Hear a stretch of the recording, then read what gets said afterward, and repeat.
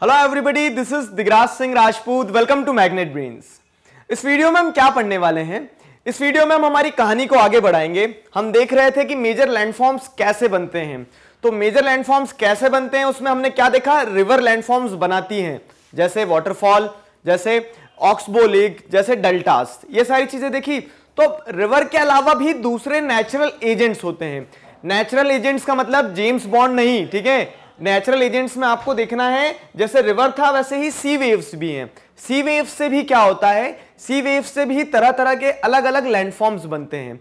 अब सवाल यही आता है कि सी वेव्स कैसे लैंडफॉर्म बनाती है? तो देखो सी वेव्स से सी केव्स बनती है। राइमिंग हो गई। Sea waves equal to sea caves तो सी वेव्स जो समुद्र में लहरें चलती हैं, वो क्या बनाती है? समुद्र के अंदर गुफाएँ बनाती है। अब यहाँ पे शेर नहीं रहता है। तो समुद्र की गुफाएँ कैसे बनती है सी केव्स कैसे बनती है, ये हम आपको बताएँगे इस वीडियो में।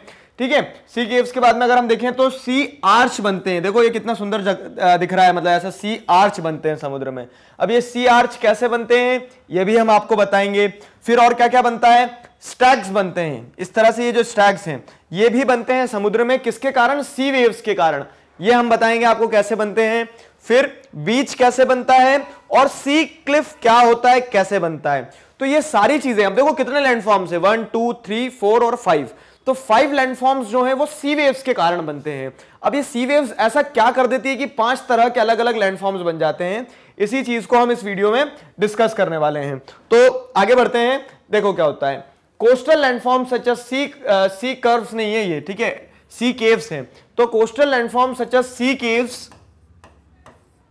sea caves arches stacks sea cliffs and beaches are form due to the action of sea waves sea waves क्या एक्शन करती है? कैसे? वही सवाल है आपके मन में? वो बताते देखो। तो sea waves strike at the rocks अब ये इंपॉर्टेंट चीज़ है। क्या होता है? ये जैसे ये जीआईएफ देखना है आपको इससे सीखना है सारी चीज़ें। कि सी वेव्स हैं ये। सी वेव्स क्या करती हैं? सी वेव्स रॉक के ऊपर स्ट्राइक करती है। देखो। तो अभी अब यहाँ पे आएगी। ये सी वेव्स हैं, ये स्ट्राइक कर रही है यहाँ पे। क्रैक्स डेवलप करी। क्रैक्स डेवलप करने के बाद में जो आपने देखा था, एक ब्लैक पोर्शन बना था। किस तरह से क्रैक्स डेवलप करने के बाद में जैसे ये खाली एरिया जो है ना तो पहले यहाँ पे क्या था? पहले पूरा एक तरह से अगर देखा जाए तो जैसे ये पार्ट था, यहाँ पे सी वेव्स टकराती रहती थी इस तरह से। तो पहले प्लेन था, लेकिन जब टकरा रही है कंटिन्यूसली तो क्रैक्स डेवलप होगी और वो क्रैक्स क्या होते जाएगी? धीरे धीरे वाइड होते जाएगी। तो इस तरह से सी केव्स बनती है। ठीक है? देखो अब इसमें वापस से। तो क्या होता है कि ये सी केव्स डेवलप होती है। अभी क्रैक्स डेवलप होगी इनिशियली और क्रैक्स किसमें कन्वर्ट हो जाएगी? एक बड़े से कैविटी में डेवलप हो जाएगी। ठीक है? ये देखना ब्लैक कलर का जो आएगा, उसे रोक नहीं सकते हम। तो ये क्रैक्स और ये cavity sea caves sea caves के बाद में क्या होता है? जैसे जैसे जो क्रैक्स डेवलप होती है तो ये क्रैक्स डेवलप होने के बाद में सी केव्स बनती है। और ये सी केव्स क्या करती है? As the cavity of cave become bigger over the period of time only the roof of cave remains resulting in the formation of sea arches अब देखो, ये इंपॉर्टेंट चीज़ है कि जैसे जैसे क्या होता है कि ये कैविटी जो बनी थी, जो केव बनी थी केव में कंटिन्यूसली वेव तो टकराती रहेगी। पहले क्या था? पहले सामने टकराई थी सरफेस पे, अब केव बन गई तो केव पे टकराते जा रही वेव्स तो अब जितनी ज़्यादा वेव्स टकराएँगी तो वो उतना बड़ा केव बनाते जाएँगे और धीरे धीरे क्या होगा? एक दिन ऐसा आएगा, ये क्रैक डेवलप होते होते पूरी केव हट जाएगी और आर पार दिखने लगेगा आपको।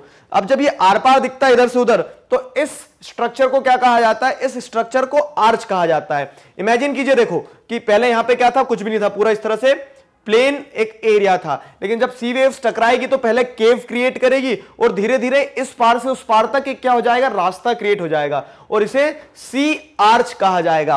आया समझ में? देखो, ये जीआईएफ पे देखना आपको, तब समझ में आएगा कि कैसे इससे और क्लियर होगा। ये होता है सी आर्च ये सी आर्च डेवलप होता है, ठीक है? तो ये सी आर्च क्या होता है? Over the period of time ये क्रैक्स क्रैक से केव केव से आर्च ये सी आर्च डेवलप हो गया। अब देखो क्या है। तो ये हमने सी आर्चेस पढ़ लिया। Only the roof of cave remains roof ही बचती है ना सिर्फ़? सी आर्च में क्या होता है? ये ऊपर ऊपर रूफ बचती है, बाकी यहाँ पे दो पिलर है इस तरह से। तो ये सी आर्च बनता है। फिर क्या होता है? Further erosion breaks the roof only wall are left is equal to stacks ठीक है मैं बाहर चले जाता हूँ और आपको ये दिखा देता हूँ। स्टैक्स तो अब ये यहाँ पे आ, क्या होता है कि जैसे जैसे सी केव्स डेवलप होती है सी केव्स को और हिट करते जाती हैं तो सी केव्स के बाद में सी आर्चेस सिर्फ़ रूफ बचती है। रूफ बचती इस तरह से तो सी आर्चेस फिर एक समय पे क्या होगा कि ये जो क्रैक डेवलप हुई है केव बनी केव बनने का जो आर्चेस बने सब गिर जाएगा और ये ऊपर की रूफ भी गिर जाएगी। तो एक पिलर बचेगा बस ये। ये पिलर क्या कहलाएगा? स्टैक कहलाएगा। तो अब हमारा जो नेक्स्ट स्ट्रक्चर होता है वो नेक्स्ट स्ट्रक्चर होता है क्या स्टैक का? जैसे ये यहाँ पर देखो, अब मैं आपको एक कहानी सुनाता हूँ। ये दोनों दोस्त थे, ये यहाँ पे खड़े थे, लाखों साल से खड़े थे। ठीक है तो अब क्या होता है, पहले पूरी ज़मीन थी इस तरह से, पूरा पैक था ये मान लो, पूरा पैक था। सी वेव्स टकराते जाएगी टकराते जाएगी और क्या बन जाएगा यहाँ? यहाँ बन जाएगा सी केव बन जाएगा इस तरह से। सी केव बन गया। अब ये सी केव के बाद में क्या होता है कि सी केव और सी केव में पीछे भी मतलब बंद रहेगा रास्ता। और सी वेव्स टकराएगी, टकराएँगी तो ये सी वेव से, सी केव से क्या बन जाएगा? सी आर्च बन जाएगा।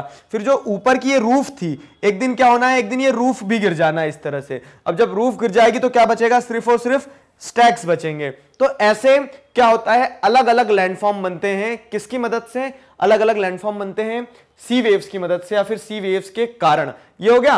अब और भी अलग अलग चीज़ें बनती है। देखो, और क्या बनता है? तो यहाँ तक हमने क्या क्या देख लिया? यहाँ तक हमने सी केव्स, सी आर्चेस और स्टैक्स। इतनी चीज़ें देखी अभी।